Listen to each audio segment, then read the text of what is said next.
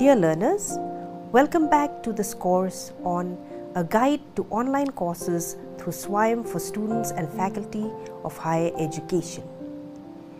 In the second video lecture, I will familiarize you with the SWAYAM community as defined by the Credit Framework for Online Courses through SWAYAM Regulation 2016 and amended in 2021. The SWAYAM community includes the course coordinator, host institution to which the course coordinator belongs, the national coordinator, the subject matter expert groups that is the SMEGS, the Academic Advisory Council AAC. The Academic Advisory Council and the subject matter expert groups work in tandem with the national coordinator and form what is known as the SWAYAM Academic Board to oversee the quality and delivery of these online courses by the course coordinator on the SWAYAM platform.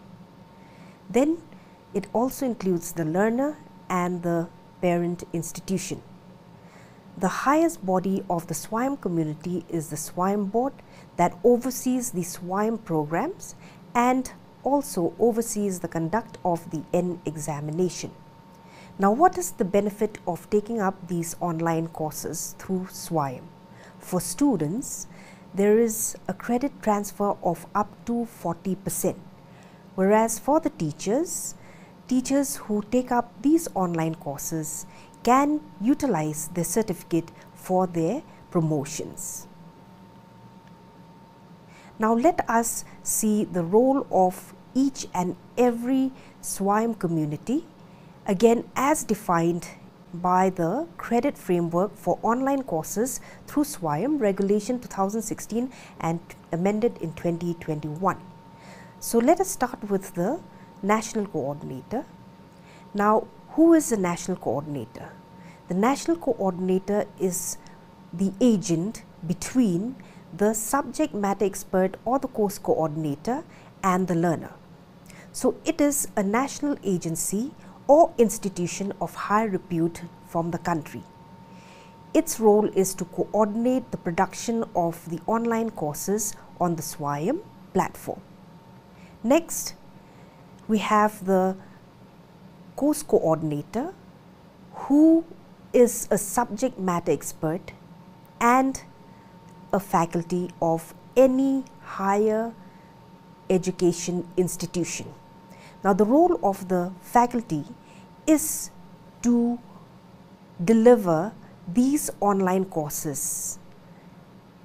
And apart from delivering these online courses on the SWAYAM platform, the subject matter expert that is the course coordinator will also have to assess the learner's performance in their online course. This assessment will be divided into two parts. One is the internal assessment and the other one is the N examination. So, the internal assessment can be up to 30 percent of the performance of the student, while the N examination accordingly will be 70 if in this case it is 30 percent and if the course coordinator wishes to give only 25% in the internal examination, then for the N examination, the total score is 75%.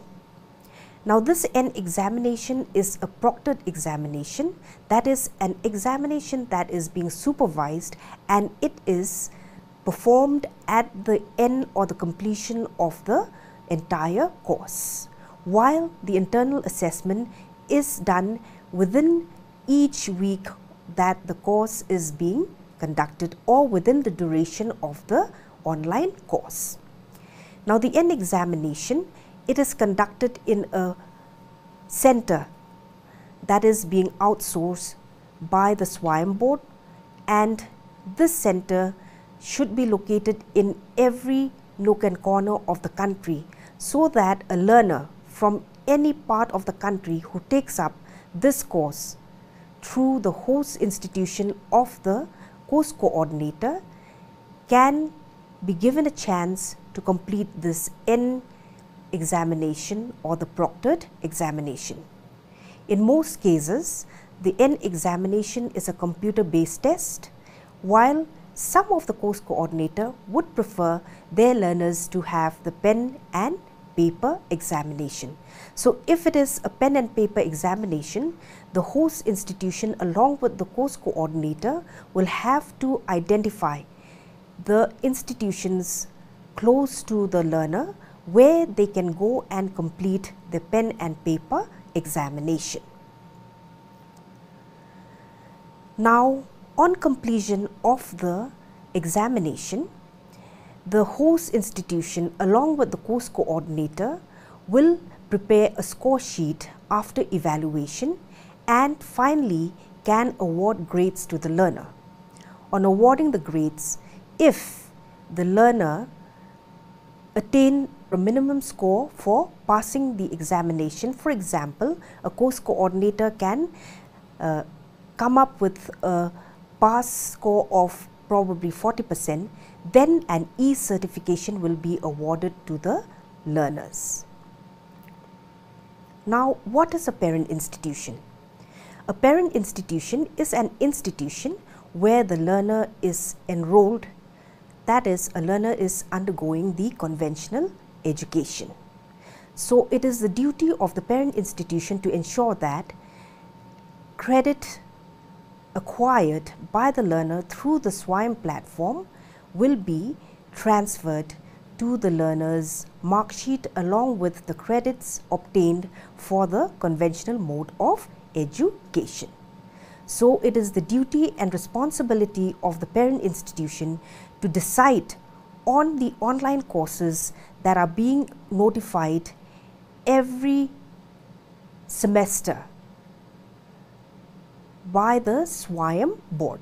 So, these courses are being notified twice a year that is for the winter semester which is somewhere around November and for the uh, summer semester that is around June.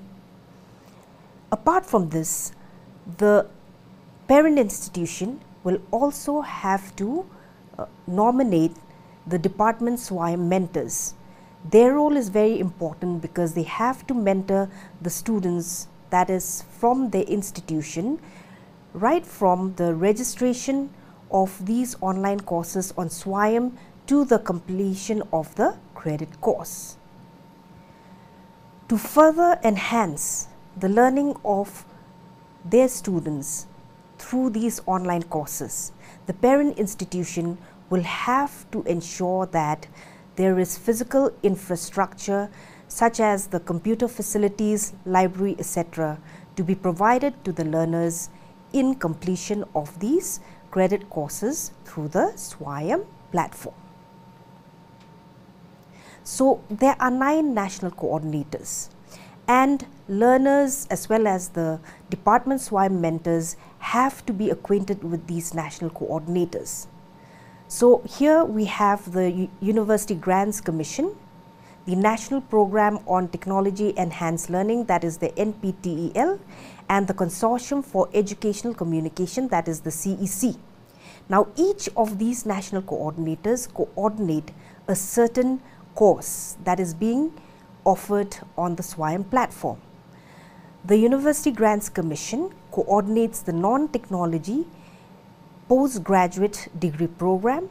The NPTEL coordinates the technology or engineering undergraduate and postgraduate degree program and the Consortium for Educational Communication coordinates the non-technology undergraduate degree program.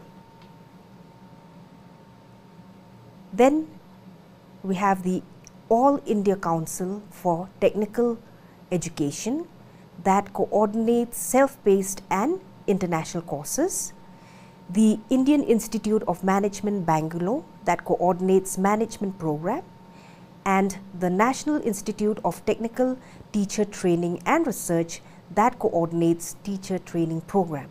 So these are the national coordinators that teachers and students of higher education needs to look up to.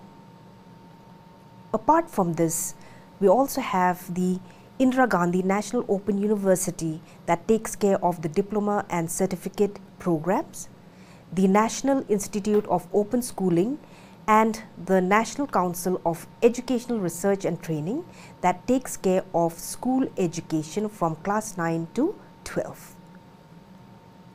So with this, we have come to the end of the second video lecture where you have been familiarized with the SWAYAM community. Thank you.